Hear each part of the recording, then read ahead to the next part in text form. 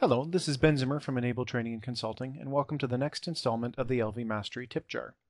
In this installment, we're going to talk about state machines. We're going to use the FRC FIRST Robotics Competition Framework as an example, and we're going to build a state machine around a theoretical lifting mechanism. We're going to see how to do this, we're going to see how to investigate, how to think about state machines, and finally, we're going to see how to implement them within the FRC framework. Before we begin this example, let's talk a little bit about what a state machine is. At its heart, a state machine is code which executes different functionality depending on an internal variable called a state. In this example, we're going to talk about a theoretical lifting mechanism, which is somewhat relevant from the FRC point of view. But the ideas we're going to learn here can be applied really to any code. So what we're going to build is a lifting mechanism which goes down until a limit switch is reached, has a short delay during which time a ball could be captured by the mechanism, then proceeds upwards until a limit switch is released, at which time it goes back down to the bottom state.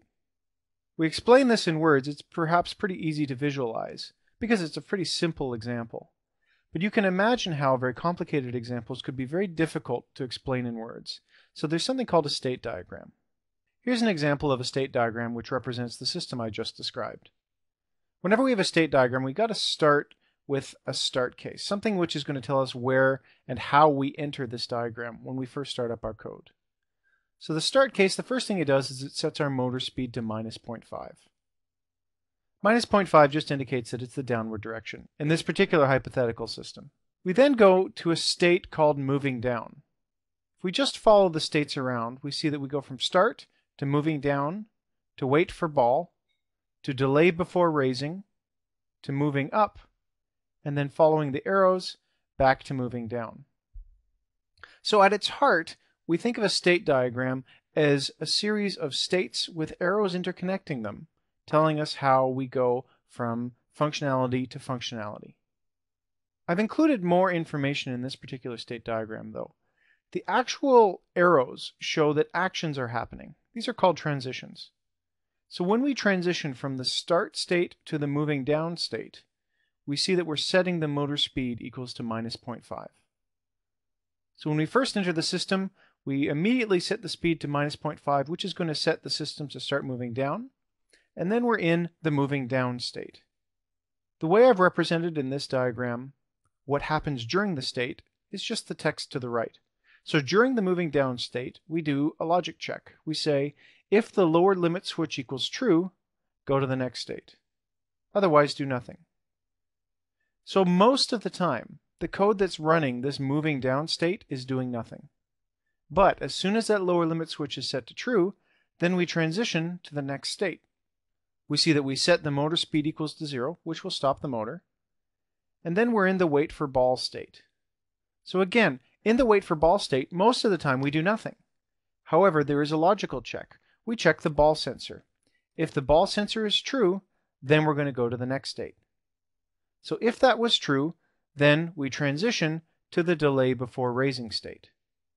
So there is an action here on that transition. When we go from waiting to delaying, we set a parameter. We set the delay end time equal to the current time plus one second.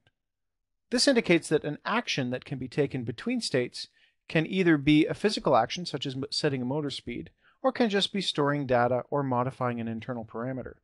So as you might imagine, in the delay before raising state, we're again most of the time doing nothing. But there's a check. We're checking if the current time is greater than equal to the delay end time, then we're going to move on. So if we go from the delay to the moving up state, the action is to set the motor speed equal to positive 0.5, which will start the mechanical system moving up and again put us into our moving up state, which again does nothing most of the time, but is always checking for the upper limit switch to be true. If the upper limit switch is true, then following the arrow, we go back to the moving down state. And we're setting the motor speed back to minus 0.5, which is going to set us in the negative motion again. So you see that this is a nice way to formally write down what happens in our state machine. A, it forces us to think about what each of the states are. And the fundamental point of state machines, the way you should probably think about them best, is that action occurs between states. And Most of the time in a state, it's doing nothing except checking to see if it should go to the next state. Now that we've thought a little bit from the point of view of a state diagram about how this mechanical system might work, let's think now about how we're going to implement that in LabVIEW, and in particular how we're going to implement it within the point of view of the FRC framework. Well, first, let's think about what our inputs are. Well, clearly we've got three physical inputs. First is the lower limit switch. Next is the ball sensor. And third is the upper limit switch. So we've got three inputs. Next, let's think about what the outputs are. Well, really, we just have one output from this system, and that's the motor speed. Depending on whether we're stopping the motor, whether we're moving up or moving down, we're setting that motor speed depending on what state we're in. But that hasn't captured everything. For example, there's this delay end time, which doesn't really fall into either category. It's neither an input nor an output. So we think about that as an internal variable. You can even think of it or call it a state variable. And there is one other internal state variable, and that's the actual state itself. So we have to know and keep track of what the delay end time is and keep track of what our current state is. So with that in mind, let's build a type def that's going to contain all of that important data. We've seen in previous TipJar videos how we can create and modify our type defs. Let's go to our begin VI, which is always a good place to start whenever we have to open up objects such as digital inputs and motor outputs. We'll go to our block diagram. Right down here where the standard framework opens two motors for the arcade drive, Let's create the objects we need. So let's go to our WPI robotics library, I.O., digital inputs. We have to actually open three inputs, one for each of the two limit switches and one for the ball sensor. So let's just choose channels for each of those. Channel 2 and channel 3. Also, we're going to need to open a single motor which we can do by going to the WPI Robotics Library, Robot Drive, Advanced, Motor Control, and just open. This is a nice way to open just a single motor. We can choose whether it's a Jaguar or a Victor type motor controller, and we should choose which PWM channel we're using. We'll set it to PWM3 because 1 and 2 are being used above. Next, we need to add each of these device references into our main type def. So let's start by opening the digital input VI, copying that device ref, closing, and then editing our main robot type def. In here, we're going to place all of our data and all of our device references for the state machine that we're going to build. So we can just paste now that we've got that digital input wired up. We give that the name of upper limit switch. Duplicate that twice. Rename the duplicates to be lower limit switch and ball sensor.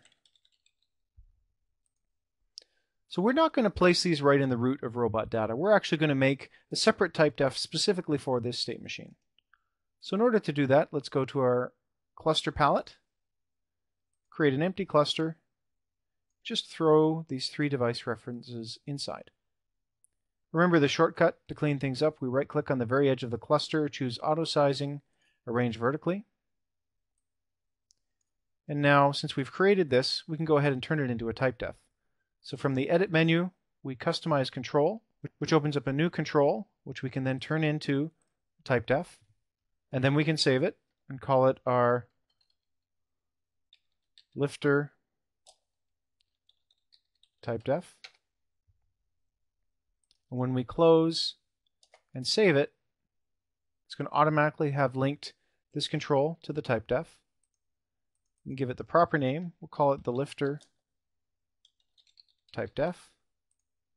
And while we're here, we can put it inside the robot data. But we still haven't finished the lifter type def. We've got to add a couple more things to it. So let's go back to our begin VI and open up our motor open VI. Again, copy the motor control device ref, close the VI, and then return to our robot data control.